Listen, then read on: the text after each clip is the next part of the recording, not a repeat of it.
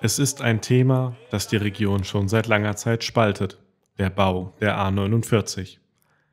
Je näher der Bau rückt, desto größer wird auch der Widerstand, besonders aus dem Lager der Autobahngegner. Was tun, wenn ein unrechtmäßiges Schlafverbot über alle Camps am Dannröder Wald verhängt wurde? Einfach eine Demo auf der B62 gegen Schlafverbot machen.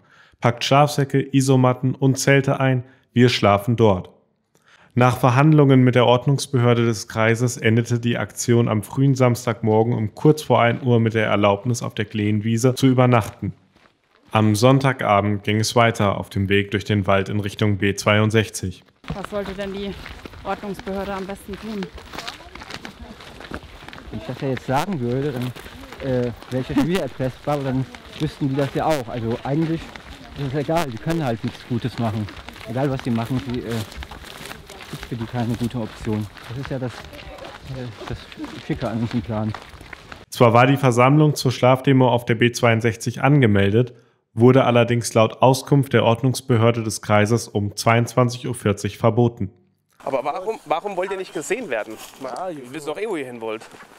Das ist klar, aber ich, je früher sie uns halt sehen, desto früher können sie halt auch reagieren. Das ist bei PolizistInnen nicht immer von Vorteil.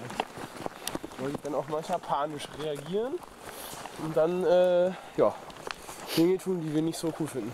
Die Aktivisten setzten ihren Weg in Richtung der Straße dennoch fort, wo bereits die Polizei und auch die Ordnungsbehörde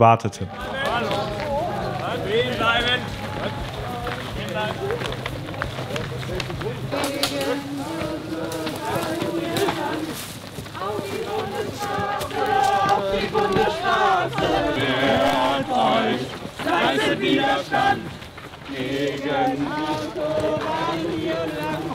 Wir wollen ist doch klar, ein Parkplatz für die Antifa! Trotz diverser Versuche konnten die Aktivisten die Einsatzkräfte nicht passieren und zogen sich weitgehend zurück und reagierten weitgehend nicht. Das wäre eure Aufgabe, Versammlungsrecht. Aber das könnt ihr ja nur für Nazis umsetzen. Gehört ja wahrscheinlich auch dazu. Teile Ihnen Folgendes mit. Ich sage Ihnen das Das jetzt hier. aus. Hier ist, brauchen Sie hier, gar nichts hier ist eine verbotene Versammlung Ja, da auf vorne. der Straße. Genau, ich, Ja. wirklich rein informativ sage ich Ihnen das und dass das sofort Vollzug Der soll- Alles gut. Ich bin ja nicht da.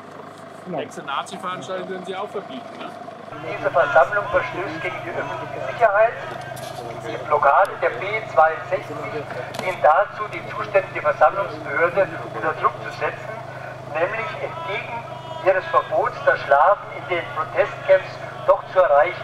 Die Versammlungsbehörde des Vogelsbergkreises hat eine kurzfristig angemeldete Versammlung auf der B62 verhindert. Nach Auffassung der Versammlungsbehörde war das eine Blockadeaktion, die gegen die öffentliche Sicherheit und Ordnung verstieß. Dies aus zwei Gründen. Zum einen diente diese Blockadeaktion im Kern dazu, Druck auf die Versammlungsbehörden aufzubauen, ein verfügtes Versammlungsverbot oder ein Schlafverbot quasi rückgängig zu machen. Zum anderen wurde hier zielgerichtet oder war Absicht zielgerichtet und ganz bewusst den Straßenverkehr auf eine längere Strecke lahmzulegen, um eigennützige Zwecke äh, zu erfüllen. Veranstaltungen vor oder nach der beabsichtigten Versammlung werden ebenfalls verboten. Die sofortige Vollziehung dieses Versammlungsverbotes wurde angeordnet. Alle Personen weise ich jetzt in Form einer Allgemeinverfügung noch einmal hin und erlasse dieses Versammlungsverbot noch einmal für alle Personen, die jetzt in der Umgebung sind. Verbiete die Versammlung auf der B62 ähm, und ordne hiermit auch den Sofortvollzug an. Vorbei war die Demonstration allerdings nicht. Immer wieder kamen vereinzelt Aktivisten auf die Straße. Eine Kleingruppe von Aktivisten ließen sich auf einer nahegelegenen Wiese nieder. Wie die Polizei am Montagmorgen in einer Pressemitteilung bekannt gab, kam es im Rahmen der Einsatzmaßnahmen zu vereinzelten Sicherstellungen und Platzverweisen. Weitestgehend sei der Einsatz störungsfrei verlaufen.